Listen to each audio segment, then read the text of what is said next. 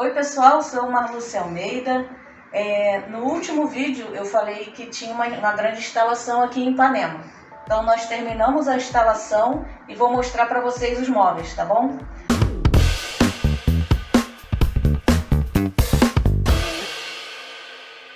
Esse daqui é o guarda-roupa duplex que eu falei que já tinha ido no caminhão.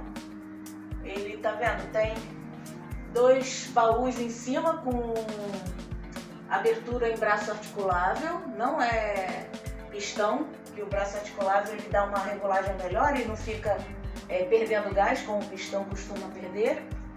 Tá vendo? Tem, ele é bem amplo, com gavetas, gavetas de extração total, como as outras que eu costumo fazer. Tá vendo? Tem umas prateleiras. Ele tá bem bacana. Só não mostro lá em cima porque eu sou baixinha, né? Vamos ver aqui o banheiro. Aqui, ó. Esse é o banheiro, ele tá bem bacana. Botei um nichozinho auxiliar, que dá pra botar shampoo, papel higiênico, que a pessoa achar interessante. E aqui uma, uma pedra em silestone linda, e tem um, um móvel aqui com, a, com aproveitamento total, tá vendo? Com gavetas bem grandes. Duas gavetas enormes para poder aproveitar melhor o banheiro. Vou mostrar agora o quartinho, o banheirinho e o quartinho de empregada. Vamos lá? Voltei, hein? Aqui é o banheirinho de empregada, tá vendo? Fiz um nicho aqui não é porque é um banheiro de empregada que tem que ser um banheiro minúsculo, né? Um banheiro muito bem aproveitado, muito lindo. Tá vendo? Aqui tem uma, uma pia de canto que eu botei aquele arremate. Esse daqui vocês viram que eu mostrei no vídeo, né?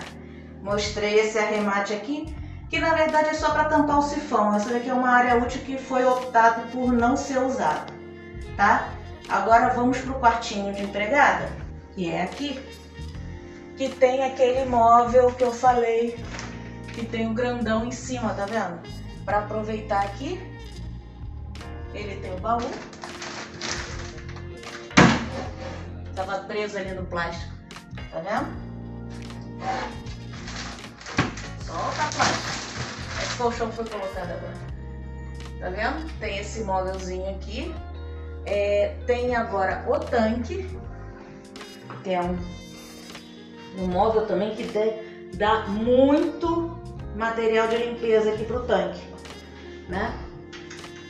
Tem a terceira porta, todas as minhas portas com fechamento suave, para não fazer aquele barulhão pá, quando bate. E agora vamos ver a cozinha, que é a cereja do bolo, né? Aqui vai vir a geladeira com um grande nicho em cima, no cinza sagrado, Tá vendo? A geladeira vai entrar aqui. Aqui temos duas bancadas, uma bancada que pode ser usada de refeição com suportes do tipo tucano de metal. Olha a resistência disso. E tem uma bancadinha aqui auxiliar, né? Aqui, ó, aquele móvel que eu mostrei para vocês, que eu falei que faltava cavilhar. Olha como ele ficou aqui, com a gavetinha. Lembra das cantoneirinhas de canto, ó, que eu falei que boto?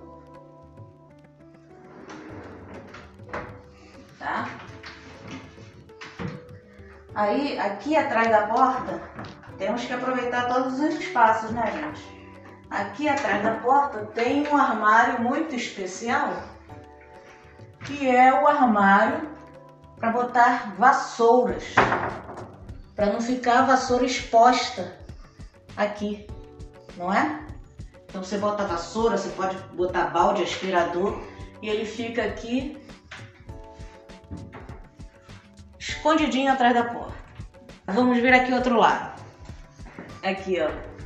Começando pelo micro-ondas. Lembra o micro-ondas que tava, tava lá na minha sala, tá vendo? Os aéreos aqui já foram para cima, tá vendo? Eles todos aqui, bastante prateleira, gaveta com extração total. as portas. Olha o brinde aqui, ó. Todo brinde da minha, da minha cozinha tem o porta-talher, né, gente? Não pode deixar de ter. E terminando nessa linda pia com aproveitamento total também, ó. Dá uma olhada geral nessa cozinha, não ficou linda? Não ficou bacana? O que, que vocês acham? Deem opiniões, falem o que vocês acharam. E não esqueçam de seguir minhas redes sociais. Deem um joinha, toca no sininho para ver os próximos vídeos e siga o canal, tá bom? Um beijo em todos!